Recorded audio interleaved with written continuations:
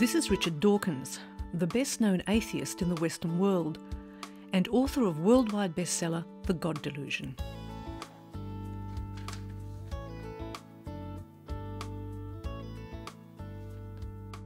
I'm pretty hostile to organised religion. I'm pretty hostile to religion where it is thrust down people's throats.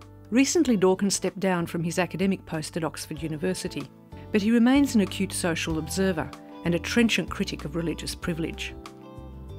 In fact, his retirement appears to be anything but, allowing him to devote himself more completely to championing atheism. I'm a scientist. I, am fascinated by what's true about the universe, and I resent the importation of a worldview which I regard as false, but which is immensely influential, especially on children. I very, very strongly resent the indoctrination of children uh, with a belief system which is not substantiated by any facts, and particularly children are not being taught to think for themselves.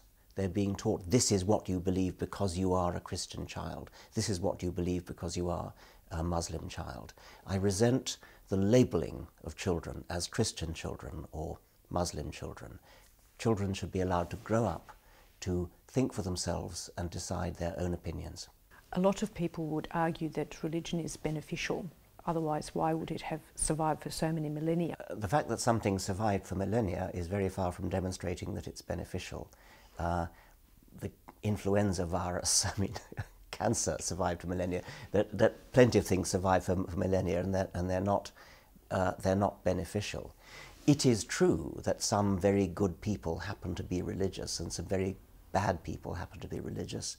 Some good people happen to be atheists and some bad people happen to be atheists. The interesting question is whether being religious makes you more likely to be good or being atheist makes you more likely to be good. I don't know the answer to that.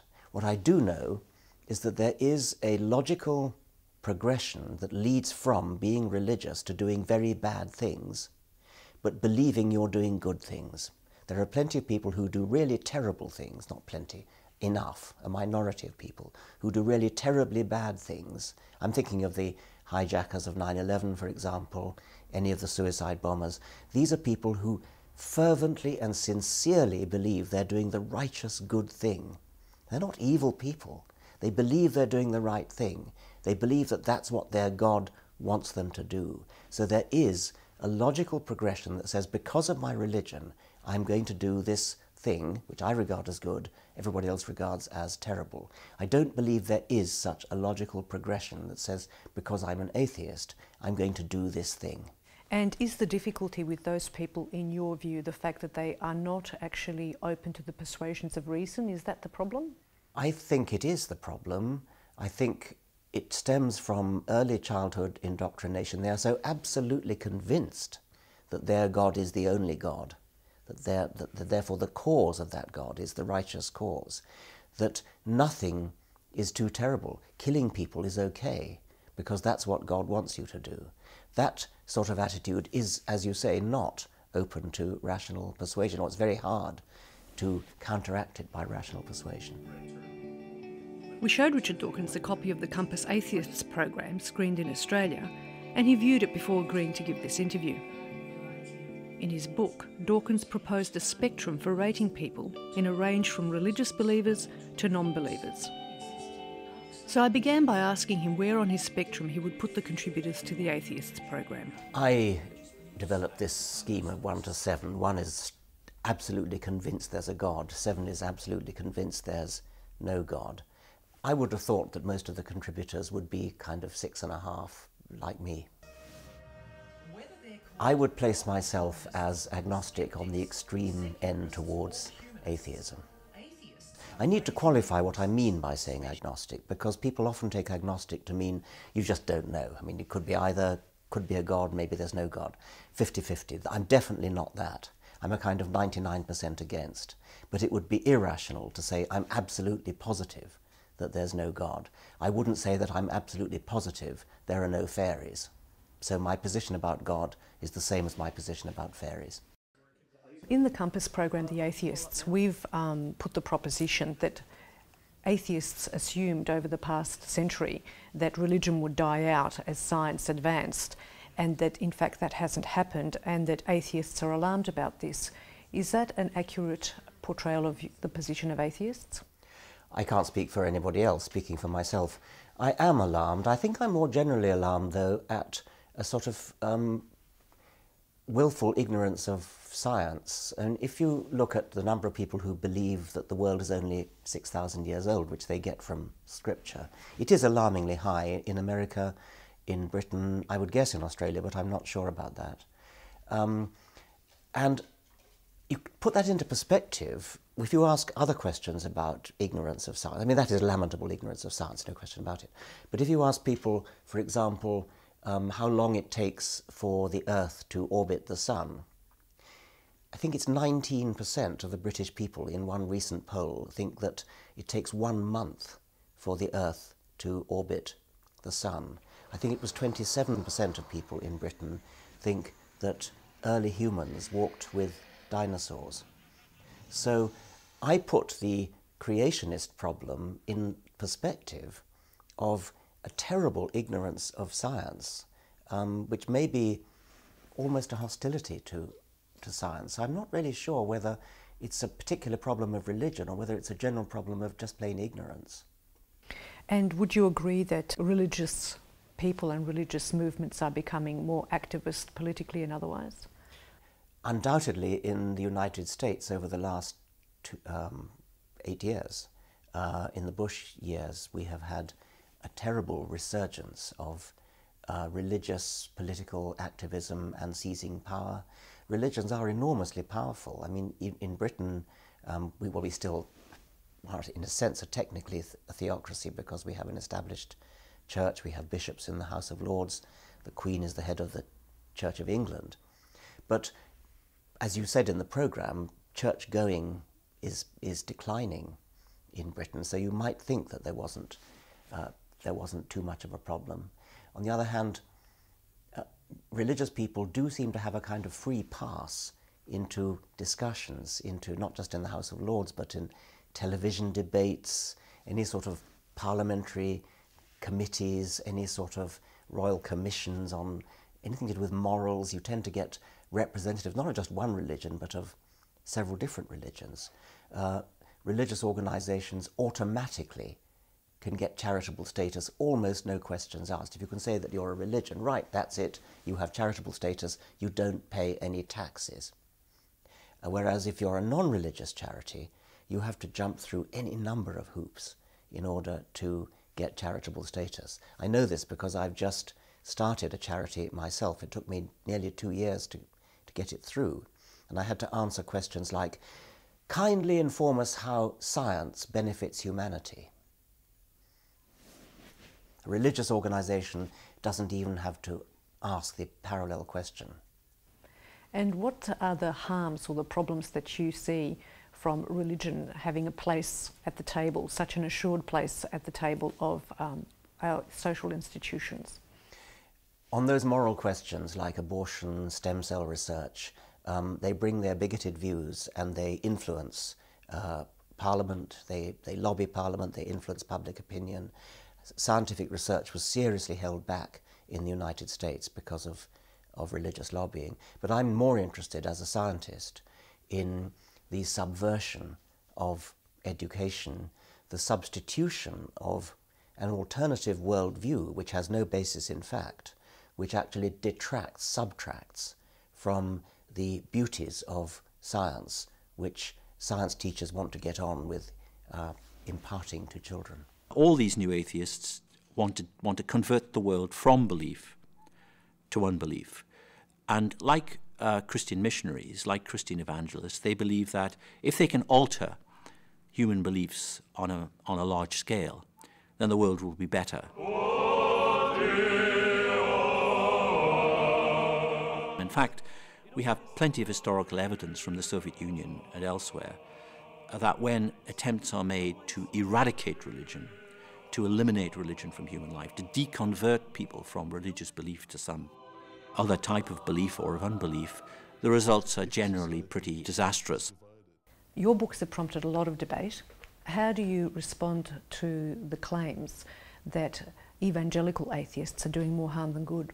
I disown the phrase evangelical atheist because evangelical people are those who have a holy book and who proselytize from that holy book. We have no holy book. We're simply asking people to think for themselves. And uh, my belief is that if you really do think for yourself objectively and look at the evidence, you will find that there is no good evidence for any kind of religious belief. Now, um, that's not uh, evangelizing. That is simply saying, think for yourself. If it were true that asking people to think for themselves was counterproductive, then I'm sorry, but I'm not going to restrain myself from saying, please think for yourself. I'm not saying you must believe X, Y, and Z. I'm saying I'm not in a position to tell you what you should believe, and nor is anybody else. You should think it out for yourself. Here's the evidence. I can help you to find the evidence. Here are these books, here are these libraries. Go into the library, read it up for yourself. Think for yourself, come to your own opinion. But is it futile um, to try to persuade people who are effectively brainwashed, to have strong psychological, not rational reasons, but irrational reasons for holding on to their beliefs? If it's futile, then that's unfortunate, but I don't think it's a reason for not even trying. I think it would be defeatist and rather cowardly just to say, oh, it's futile, and rather actually, um, well, almost condescending, um, almost contemptuous to say, you're too stupid for me to argue with you. I would never wish to say that.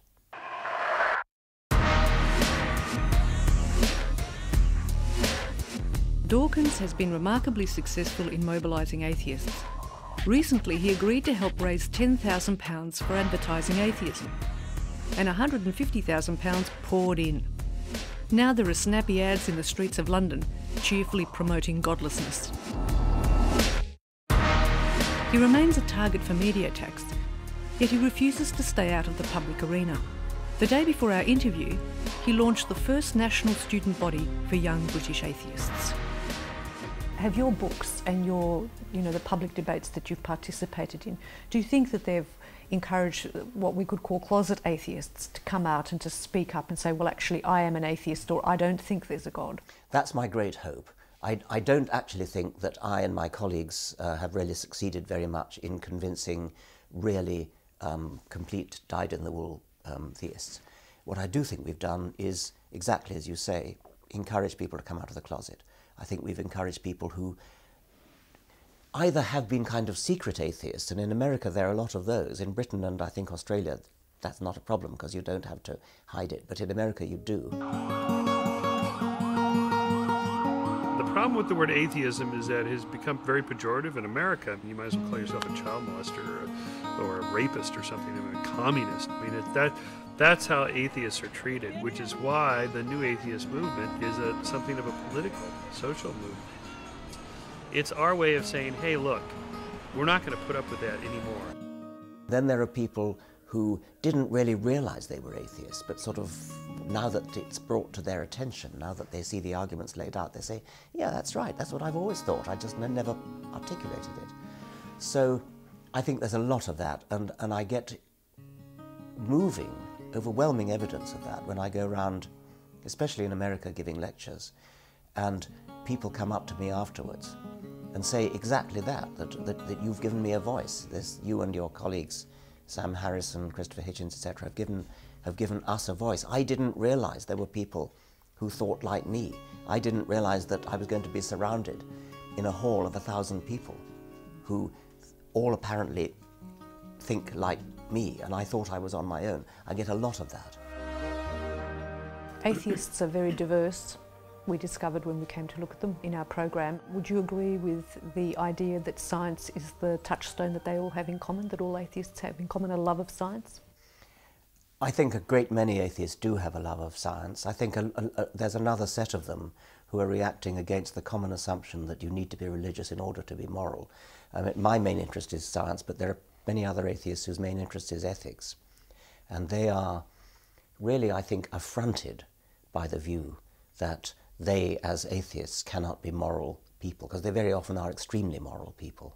And they quite rightly take umbrage, take exception at the actually preposterous view that you need religion in order to be moral.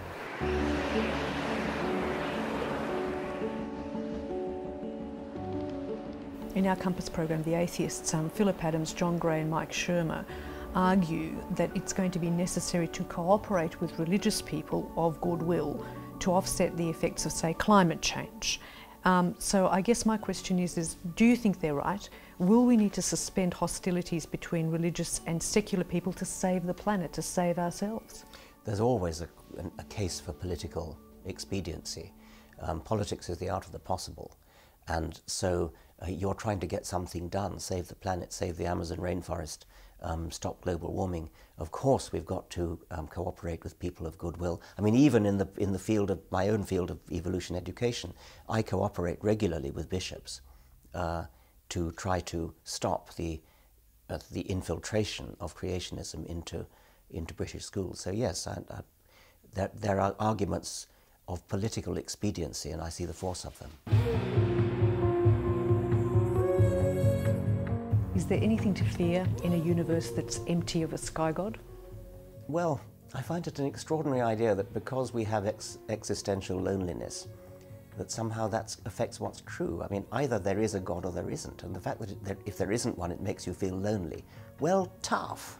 I mean, what's, what's that got to do with anything? Either it's true or it's not true. Let's stand up and face up to the truth. Now, I don't feel existentially lonely, or if I do, it's rather an agreeable feeling. It's a feeling of, of looking out at the stars and, and thinking, you know, maybe this planet here is the only place where there's life. We don't know that, but maybe it is. In a way, that's a grand feeling. It's a, it's a magnificent feeling, far more poetically moving, I think, than the pokey little feeling that this is all there is, is this, this world here is, all, is all, all there is, and that somehow it's all there for the benefit of humanity, and animals were put here for the benefit of humanity and things. I'd far rather face up to the truth. And if it makes you feel a bit, a bit lonely, that's tough. But the truth is bracing. During our visit, we learned that Dawkins had just finished a new book to be published in the UK in September 2009 title is The Greatest Show on Earth The Evidence for Evolution. It's about the evidence for evolution. Its subject, evolution, harks back to that of The Selfish Gene, the first book to bring Richard Dawkins to prominence. In the year of Darwin's birth, in the 150th anniversary year of The Origin of Species, um, it, it, did seem like a, a good idea. I've written plenty of books about evolution before, but never actually laid out the evidence for it. I have enormous regard for, for Darwin. He was a great scientist. He, when you open any of his books, but say especially The Origin of Species, you get an immediate feeling that he's really struggling to, to convey his meaning. There's no side he's not showing off, he's not trying to bamboozle you. He really, really wants you to understand. He lays out the evidence as clearly as he possibly can. He was a very gentle man he was a very, a great intellectual. He was devoted to his work, to, to science, to truth, um, and to his family. He was a very great um, family man.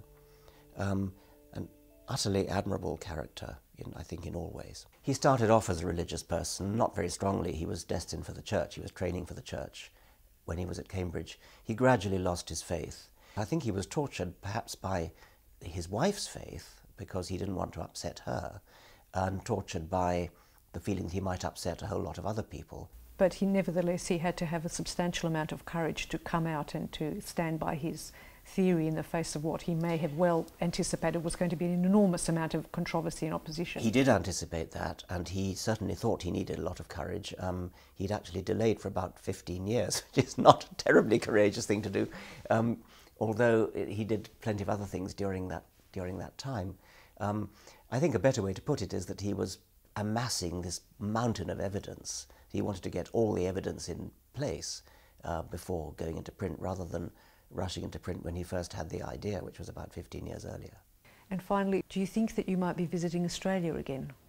Well, I'm hoping to come this year, but, I, but I'm not absolutely, you know, my plans aren't firmed up yet, and, and, uh, but I would very much like to come to Australia. Lovely, thank you very much.